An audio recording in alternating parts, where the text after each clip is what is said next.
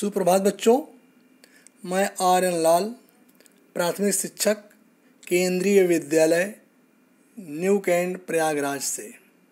प्यारे बच्चों, आज हम कक्षा पाँच, हिंदी के पाठ के कुछ कठिन शब्दों के अर्थ की जानकारी प्राप्त करेंगे।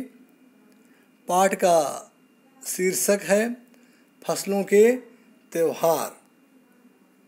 बच्चों, इसके माध्यम से हम निम्नलिखित, लक्षित अधिगम बिंदु को प्राप्त करने की कोशिश करेंगे। शब्दों और वाक्यों को शुद्ध उच्चारण के साथ पढ़ना, लिखित सामग्री को पढ़कर समझने की योग्यता, पढ़कर प्रतिक्रिया करने की योग्यता। बच्चों तो आइए हम पाठ में आए हुए शब्दों का शब्दार्थ जानते हैं। पहला शब्द है बोरसी। पहला शब्द है बोरसी। बोरसी का अर्थ होता है अंगीठी। अगला शब्द है तापना। तापना का अर्थ है सेंकना। इसी प्रकार इजहार, ज़ाहिर करना, खुशनुमा। खुशी से भरा हुआ। ऋतु, मौसम, फरमाइशी, मनपसंद। सुस्ताना, आराम करना। जश्न, उत्सव, करीने तरीके। गौर से, ध्यान से।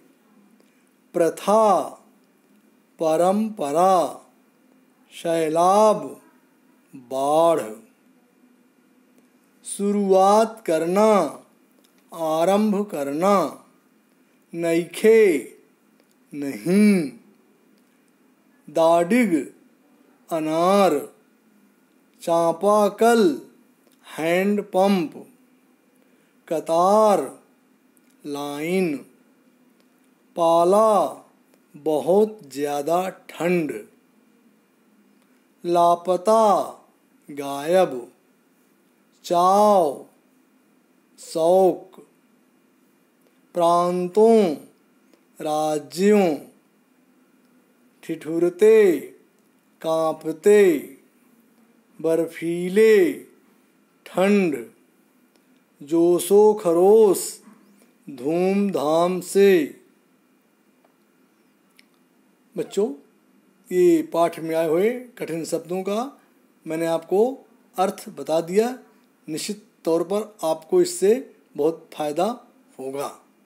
बच्चों, अगला शीर्षक है वाक्य प्रयोग करना। बच्चों, कुछ शब्द हैं जो कि मैंने अभी आपको बताया है।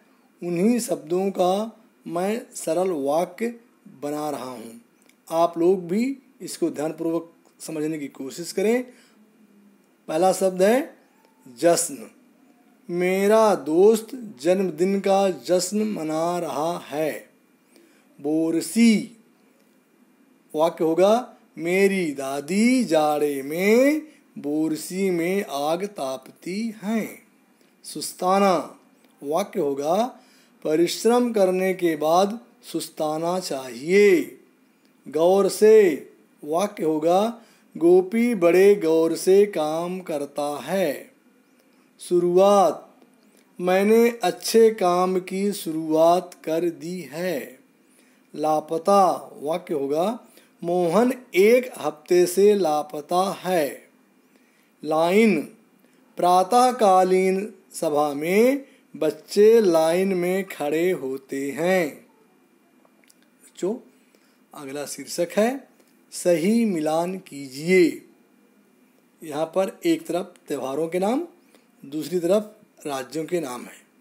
बीहू, पोंगल, सरहुल, ओणम, पतंग का पर्व। राज्य हैं केरल, झारखंड, असम, गुजरात, तमिलनाडु। इसका उत्तर होगा बीहू, असम राज्य से है। पोंगल, तमिलनाडु, सरहुल, झारखंड, ओणम, केरल, पतंग का पर्व, गुजरात। तो बच्चों, ये मैंने अलग अलग त्योहारों को किस राज्य का है, आपको मैंने बता दिया।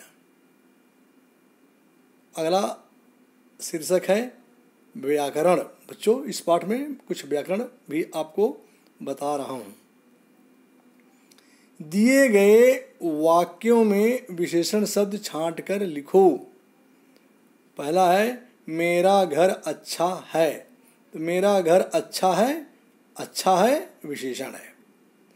हमारी कक्षा में चालीस छात्र हैं। यह इमारत ऊँची है। कोयल की आवाज़ सुरीली है। वह लड़का पढ़ने में होशियार है। बच्चों, मैंने विशेषण शब्दों को रेड कलर से दिखाया है। आप लोग निश्चित तौर पर समझ लेंगे। अगला शीर्षक है, पर्यायवाची शब्द लिखो।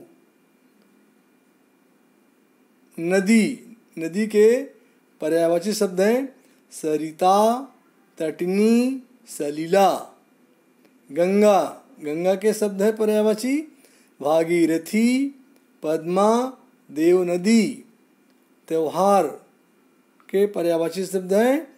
उत्सव, पर्व, समारोह, आकाश के गगन, नभ, आसमान, सूर्य के सूरज, आदित्य, रवि।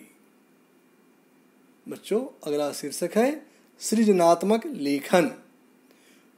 तुम्हें कौन सा त्यौहार सबसे अच्छा लगता है? इस दिन तुम्हारी दिनचर्या क्या रहती है? उत्तर है, मकर संक्रांति। मुझे मकर संक्रांति बहुत अच्छा लगता है। इस दिन पानी में तिल डालकर स्नान करते हैं। तिल के पकवान बनाते हैं। इन पकवानों का विशेष महत्व है। इस त्यौहार को अलग अलग नाम से जाना जाता है, जैसे खिचड़ी, पोंगल आदि।